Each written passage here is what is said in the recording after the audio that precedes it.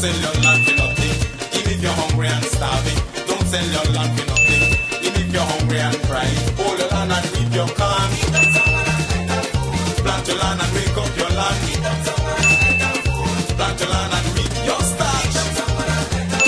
Plant your land and wake up your land. Don't sell your land for nothing.